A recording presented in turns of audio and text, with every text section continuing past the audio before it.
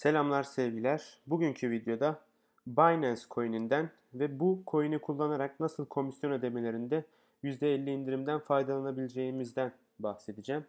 Binance'te yaptığımız alsat işlemlerinde Binance'e ait olan BNB coin'i kullanırsak eğer komisyon ödemelerinde %50 indirimden faydalanabiliyoruz. Fakat bu %50 indirimden faydalanabilmek için öncelikle elimizde BNB coin tutuyor olmamız gerekiyor. Yani çantamızda BNB coin'den var olması gerekiyor.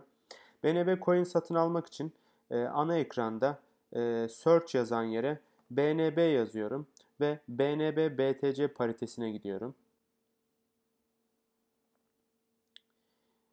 Parite açıldığında burada yer alan Buy BNB yerine geliyorum ve buraya kaç tane BNB almak istiyorsam onu yazıyorum.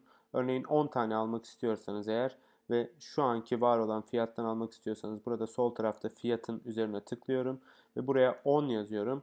Buy BNB dediğimde e, BNB token'dan almış oluyorum. Bunu aldıktan sonra sağ üst köşedeki adam ikonunun üzerine geliyorum ve account kısmına tıklıyorum. Burada using BNB to pay for fees yazan yeri açık olarak işaretlemem, on olarak işaretlemem gerekiyor. Eğer bunu off yaparsanız e, komisyon ödemelerinde BNB değil hangi e, coin'i ya da token'ı trade ediyorsanız ondan eksilecek.